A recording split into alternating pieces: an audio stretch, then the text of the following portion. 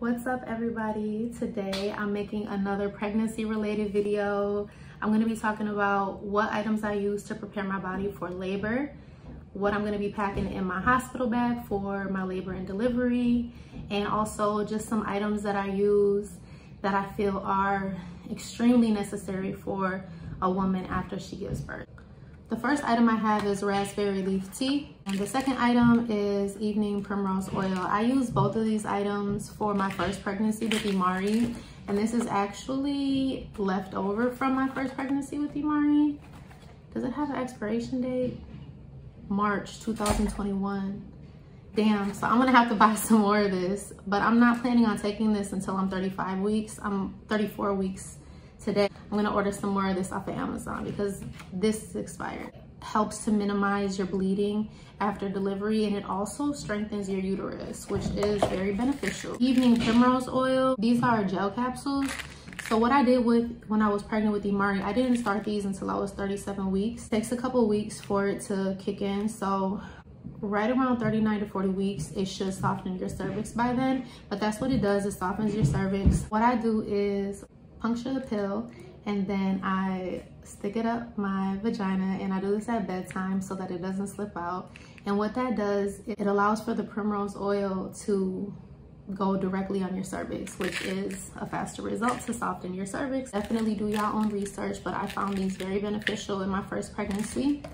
And then moving forward to what I'm packing in my hospital bag, I just have this Victoria's Secret tote and in the tote, I'm obviously gonna be packing like um, just in case shampoo, conditioner, travel size, body wash, and stuff like that. But I'm not gonna get into that because those aren't really pertaining specifically to delivery. Those are just for your everyday hygiene. So I'm not gonna get into that. These next two items, they go hand in hand.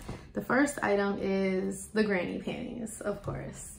You need some granny panties because you're gonna have some big ass pads that are gonna be lining these panties. And the second item is a pair of Spanx. I just like everything to be tight and snug.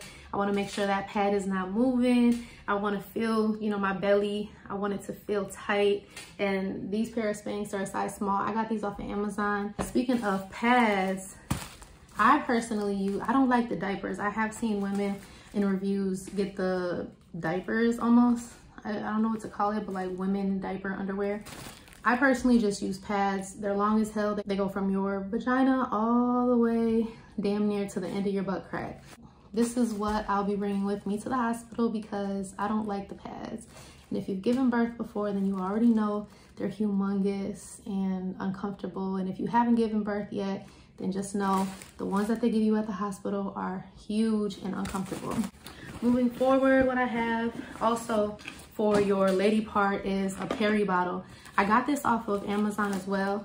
I use the for Imari. The one that they give you in hospital kind of just looks like a condiment, you know, like something that they put in ketchup or mustard and it just squirts out. But this one specifically has a nozzle on it and this is for vaginal delivery. After you give birth, that first drop of piss gonna send your cooch to hell. You wanna fill this up with as hot of water as you can tolerate. I can tolerate really hot water, so I hope the hospital that I'm going to has boiling hot water because you're gonna you're gonna need it or at least warm water. So fill this up and then when you're on the toilet, you're gonna angle it and you're gonna press the water as you're peeing so it can alleviate some of that burning feeling because I'm not joking when I say it's gonna hurt. And if you know, you know. What else do I have? Oh, I have my robe. Most likely I will be just in a robe for the days that I'm in the hospital. I also have a heating pad because with Imari, my stomach cramped really bad afterwards. So at this time I got an electric one so that I don't have to constantly get up and warm up the heating pad. The last thing that I have that I probably won't use though for like a week after delivery is a postpartum waist belly support thing. So I'm gonna just insert a picture of it so you guys can see what it looks like because this really don't do no justice. It just makes you feel snug and tight. With Imari, I use the same one and it helps you slim down a lot faster. I forgot to pull these out my bag yesterday. These are breast milk savers And what you do is put them in your bra and put your nipple through the hole and it collects your breast milk for you. I'm not going to be breastfeeding, but I'm still going to be lactating. Whatever I do produce, I'll catch in here. And when you're ready to dump it out, you just pull this off and then pour it in the bottle. I like them better than the breast pads because the breast pads are just soaking up your milk and then you're throwing away your milk that's soaked up in the breast pads. Also, I'm packing this little blanket because the hospitals be cold and their blankets aren't really the best. Those are my main essentials that I feel are extremely necessary after I give a vaginal birth. That's everything that I'm packing. The only thing I'm not showing is my hygiene stuff, which is a no-brainer. And then also my going home outfit, which is probably gonna be some black shorts and I don't know, something comfortable.